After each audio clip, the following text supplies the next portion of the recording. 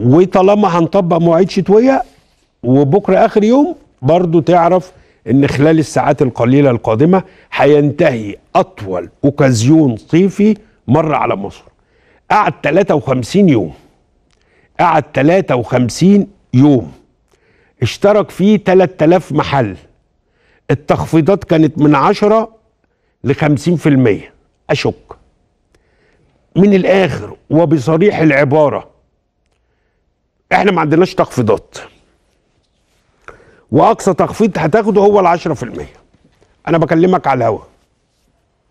أقصى تخفيض هتاخده هو 10% وفي محلات تروح معلية السعر و آه الايه هي السلعه ب 100 جنيه فتخليها ب 120 وبعدين ترجعها لك ليه 98 99 قرش. وزارة التموين ضبطت مخالفات 10000 مخالفة. 10000 مخالفة. زي كده. طب إمتى بقى إمتى إمتى فعلا نرتقي كده؟ ولما أكتب إن في سيل أو تخفيض يبقى تخفيض حقيقي.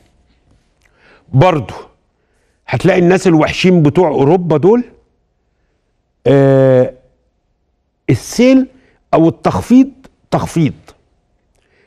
يعني حاجة ب 100 جنيه استرليني تخفيض 50% 50% يقول لك ال collection ده 50% ما عندناش إحنا الكلام. عشان كده انت بتسألني لماذا لا يقبل المواطنون على الأوكازيون؟ لأنه فيه ضحك على الدقون. اعمل لي تخفيض حقيقي. عارف التخفيض الحقيقي بيحصل إمتى بقى؟ ده في آخر كام يوم المصانع عايزة تخلص مثلا الملابس الصيفية. فيلا أعمل تخفيض لأن مصروف تخزينهم تكلفة تخزينهم هتبقى أعلى عليا. وممكن موديل يقدم أي حاجة يلا يا عم اخلص منهم. ما إحنا كسبنا. يعني لا يجبر المصنع على التخفيض إلا عند الضرورة اللي هي تمسه. هو فما تقوليش بقى أطول أوكازيون ومفيش أوكازيون.